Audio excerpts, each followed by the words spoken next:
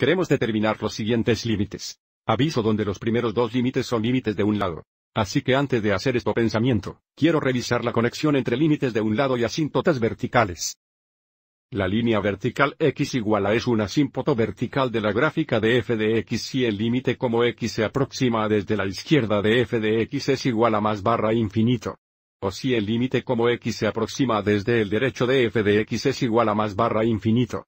Entonces, si cualquiera de estos dos límites unilaterales igual más barra infinito, entonces x igual a sería un asímpoto vertical. Por lo tanto para nuestro primer límite, tenemos el límite como x enfoque 0 desde la izquierda del cosecante x debemos reconocer la gráfica de la función cosecante aquí a la derecha. Entonces, si nos acercamos a 0 desde la izquierda o desde el lado negativo, nos estaríamos acercando a x igual 0 desde esta dirección aquí. A medida que nos acercamos a 0 desde esta dirección, notifique que los valores de la función disminuyen sin límites y se acercan al infinito negativo. Por lo tanto nuestro límite es igual al infinito negativo que nos dice, primero, el límite no existe porque el infinito negativo no existe. Pero también que x igual 0 es un asímpoto vertical. Donde x igual 0 es Siemens esta línea vertical aquí que sería el eje y ahora, el asímpoto vertical es una línea vertical que se aproxima el gráfico, pero nunca cruce. Y recuerde que la función cosecante es un recíproco de la función cineal donde el valor de la función cineal es cero, la función cosecante no se definiría dando a nosotros este asinto vertical. Otra manera de mostrar este límite sería usar una tabla de valores, donde aproximamos el cero de los valores menores de cero como vemos aquí en esta primera tabla.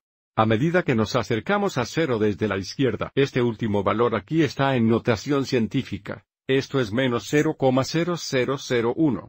Y aviso como x se aproxima cero desde la izquierda los valores de la función disminuyen sin límite, acercamos al infinito negativo verificando nuestro límite. A continuación, tenemos el límite cuando x se acerca a pi desde el derecho de cosecante x y acercamos a pi desde la derecha. Nos estamos acercando a pi desde esta dirección aquí.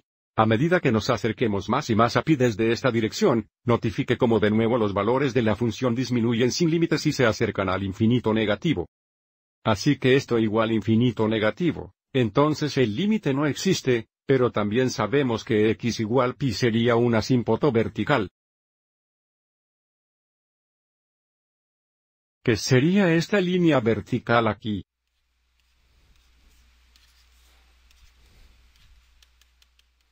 Estamos utilizando una tabla de valores.